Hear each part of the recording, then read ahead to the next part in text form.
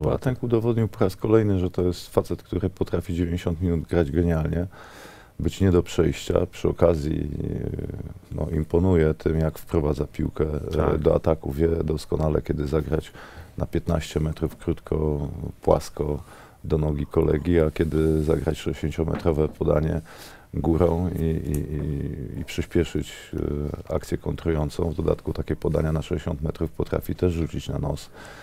E, i, I ta piłka spada tam na klatkę piersiową albo na stopę wybiegającemu napastnikowi tą łatką, którą ma spaść. Proszę broń nie tą, gdzie jest dziurka do pompowania, bo wtedy trudniej przyjąć. E, No ale, ale niestety też miewa takie momenty i w klubie, i w reprezentacji, nie raz, nie dwa i nie, nie dziesięć mu się zdarzyło, że właśnie grając genialnie nagle e, nagle e, eksploduje mu w kieszeni jakaś, jakaś bomba. E, Ze dwie szare komórki przestają działać i, i, jest z kolei najgroźniejszy dla, dla swojego bramkarza i dla swojej drużyny. Tak też było wczoraj.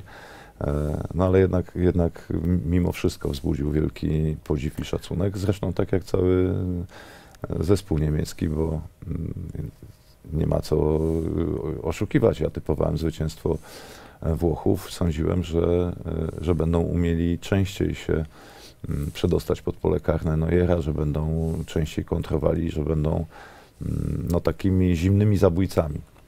A wczoraj w zasadzie nie dostali e, takiej szansy, żeby, e, żeby się dobrze złożyć do strzału. I, i, i e, no, gdyby nie, nie śmieszny szkolny m, juniorski błąd Boatenga, to by bramki chyba nie byli w stanie strzelić, mimo że byli bardzo e, tacy zajadli, tacy wyrachowani, wyrafinowani.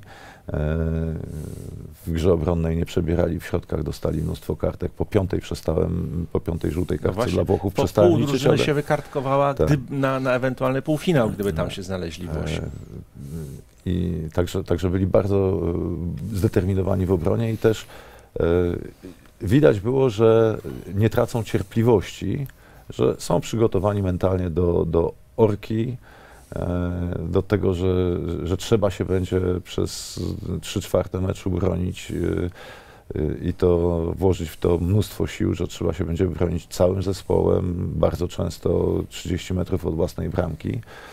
E, Będzie, będzie najbardziej wysunięty zawodnik włoski, a, a, reszta drużyny nie ma pupami w polu karnym. E, Ale byli w tym cierpliwi. Ze 3-4 razy udało im się wyjść 3 na 3, 4 na 4. Mm, No ale, ale jednak zabrakło siły ognia, co, co też świadczy o wybitnej sile Niemców i oni wczoraj pokazali moim zdaniem wreszcie to, czego się od mistrza świata i kandydata do tytułu mistrza Europy oczekuje.